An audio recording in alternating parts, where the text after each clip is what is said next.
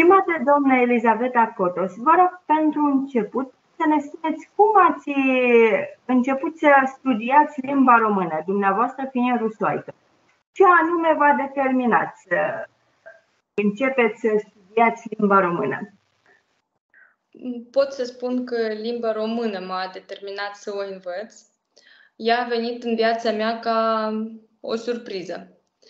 Când am intrat la facultatea de filologie, trebuia să aleg încă o limbă străină în plus. Și am ales limba franceză. Dar când am văzut orarul, în loc de limba franceză, acolo era limba română. Și mă gândeam că este o greșeală, dar era realitate. Și am zis că hai să învățăm. Și din prima vedere mi-a plăcut de profesoara noastră, doamna Ana. Și cred că datorită ei și datorită stilului ei de a preda limba, am rămas la acest departament din facultate. Pentru că, am avut, a, pentru că am avut de gând să, să schimb, nu eram de acord să învăț limba română. De cinci ani de zile locuiți aici în România, unde v-ați întemeiat o frumoasă familie. Cum a fost acomodarea?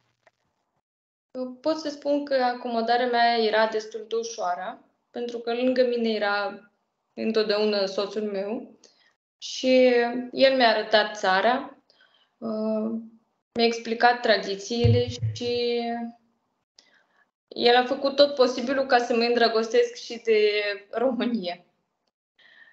Și în România am cunoscut o, mulți oameni cu suflet frumos și mă bucur foarte mult. Uh, singura problemă cu care nu m-am acomodat nici acum este clima. Nu sunt obișnuită cu plus 23 de grade în octombrie și iarnă destul de călduroasă. Eu am fost la Moscova în luna septembrie și a fost foarte cald. Oamenii cu care interacționam, care vorbeam, îmi spuneau că este neașteptat de cald și că a fost o vară destul de rece. Iar apoi am citit și o știre pe Ria Novosti că este cea mai călduroasă, cea mai secetoasă toamnă din ultimii 144 de ani. Da, într-adevăr, vara era... a fost cald. Și vara era foarte, foarte frig. Am fost și eu acasă vara și soțul meu trimitea mie din București poze cu plus 40 și nu mai putea de căldură. Și eu eram în geacă de iarnă. Pentru că da, trăiesc cu... cumplit de cald. Da, da. Ați studiat la Moscova limba română, așa cum ați spus anterior, cu minunata doamnă profesor Ana Cabanova. Studenții care au avut-o drept profesor vorbesc foarte bine această limbă. La cursurile organizate de doamna Cabanova se citește și se discută mult literatura română. Care sunt autorii dumneavoastră preferați din literatura română și de ce? Uh, da, am studiat la Moscova limbă română cu doamna Ana și studenții uh, o secundă. Se, se riau. Uh, la cursurile noastre cu doamna Ana am citit literatura română și chiar am făcut cu colegele mele, pentru că eram numai fete în grup, o mică piesă după un mic spectacol după piesa lui Mihai Sebastian, Seau fără nume, și am prezentat acest spectacol la facultate. Și, de exemplu, mie mi-mi plac poeziile lui Mihai Menescu, cum el scrie despre dragoste și cum găsește cuvinte potrivite și extrem de frumoase. Uh, îmi place foarte mult uh, Floarea albastră și poema Lac. Și din literatură contemporană, chiar acum citesc uh, o carte lui Ion Moraru.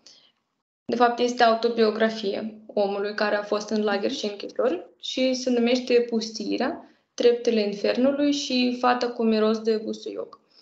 Și Mi-a plăcut foarte, foarte mult cum el găsește cuvinte și m-a impresionat viața lui, că el, după ce a trăit coșmarul vieții, a rămas om bun, cu suflet frumos și cu inimă deschisă pentru oameni și a păstrat dragostea uh, față de poporul său și de credință străbună. Spuneați la un moment dat că trăiți în București, dar că sufletul dumneavoastră a rămas în nordul țării, în Bucovina. Ne puteți detalia, ne puteți explica acest lucru? De ce a rămas în Bucovina? Ce înseamnă Bucovina pentru dumneavoastră? Uh, eu cred că este un lucru inexplicabil, dar uh, în Bucovina pot să spun că a început dragostea mea cu România. Uh, când am venit aici cu schimb de experiență, eu și colega mea ne-am călătorit în Bucovina și era prima mea călătorie în România. Și m-a impresionat foarte, foarte mult mănăstirile acolo. Am fost la Putna, la Dragomirna, la Voroneț, la Suciviță, la Moldovița și la Sihastria Putnei. Mi-a plăcut și istoria Bucovinei. Și oameni de acolo. Și soțul meu s-a născut acolo în Bucovina. De asta mergem acolo destul de des. Și mi-mi plac și peisajele foarte mult. De exemplu, la Câmpul Lung moldovenesc este, este ceva ce nu m-am întâlnit nicăieri. Este extrem, extrem de frumos și bisericile cu, care sunt împodobite cu frescă exterioară sunt unicele în lume și cred că asta cine a văzut odată nu uită în viața lui și cred că ar vrea să se întoarcă încă o dată în Bucovina. Într-adevăr, Bucovina este un uh, loc excepțional. Oameni excepțional, cu peisaje superbe, cu o istorie deosebită. Da. Cu o mâncare deosebită și spune, vorbind despre produse culinare, vă adresez următoarea întrebare. Care sunt mâncărurile românești pe care le îndrăgiți? Nu doar din zona Bucovinei, în general. Uh, îmi plac sarmale. îmi place mamaligă cu mușdei. Uh, da, cu mușdei din ustroi românesc, nu chivezesc. și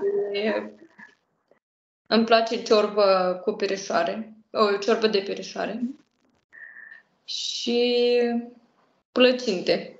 Preferatele mele sunt cu brânză, de fapt merdinea și plăcintă cu mere. Chiar uh, acum este sezonul și am făcut și eu niște plăcinte cu mere.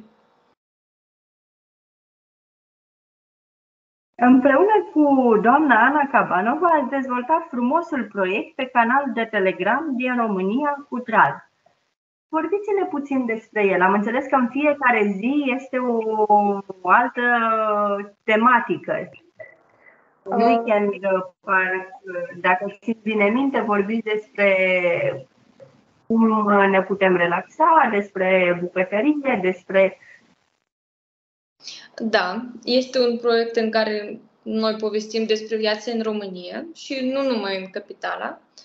Și eu sper că postările noastre pot ajuta oamenilor care s-au mutat în România sau au de gând uh, se mute. Și de luni vorbim despre infrastructură. Uh, marți avem obiectiv turistic și împărtășim experiența noastră călătoriilor prin România. Uh-huh. Miercuri este zi despre oameni cunoscuți și renumiți din România. Joia este despre limba română. Vineri este rubrica culinară. Și sâmbătă și duminică vorbim despre vreme sau dăm ideile pentru oamenii unde ei pot să petrec timpul frumos. Vorbim despre târguri uh, sau festivale și așa mai departe. Ați călătorit mult în România? Care sunt locurile în afară de Bucovina care v-au rămas așa în suflet sau care v-au impresionat și de ce? Uh, da, am călătorit prin Rom- în România și este o țară foarte frumoasă. Și, de exemplu, îmi place că în Ro- România este, în comparație cu Rusia, este mică. Și distanțele uh-huh. sunt uh, foarte mici și poți să, să te miști și să călătorești ori la mare, ori la munte și ajungi destul de repede. Uh, mie îmi place, de exemplu, la Brașov. La Brașov îmi plac trăduțele micuțe și înguste uh, și arhitectura fro- foarte frumoasă. Și chiar la Brașov și la Sinaia mă impresionează că din centrul orașului se văd munții. Uh, unde am trăit eu în Rusia nu există așa ceva. Și asta, asta mă uimește de fiecare dată când vin acolo.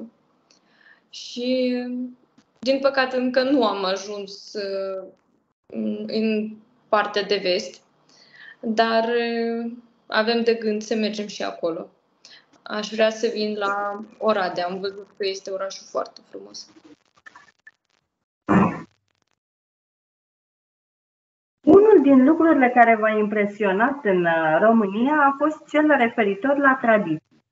V-a plăcut faptul că tinerii merg la diverse evenimente importante din viața lor în costum popular. De asemenea, vă plac colindele, folclorul românesc, fiindcă, iată, se apropie și Crăciunul, ne puteți spune care sunt colindele dumneavoastră preferate? Iar în familie de sărbători cântați colinde? Uh, noi nu cântăm colinde, dar le ascultăm și mergem la concerte. Uh, și colindele mele preferate sunt uh, din cer senin, uh, ziurel de ziua, la vifleiem colo în jos, uh, florele dalbe și Iisus bine ai venit. Uh, și în, în familie avem așa o mică tradiție. Uh, cam de la 5 decembrie, înainte de Sfântul Nicolae, de seară, începem să ascultăm colinde și ne place foarte mult uh, corul Maicilor de la, de la Mănăstirea Camarzani și corul Tronus. Și ascultăm colinde. Bine, și cântăm așa puțin, dar mai mult ascultăm. Am înțeles. Asta a fost tot. Dacă ați mai vrea... Aș vrea să mai spun încă o chestie despre proiectul nostru cu doamna Ana.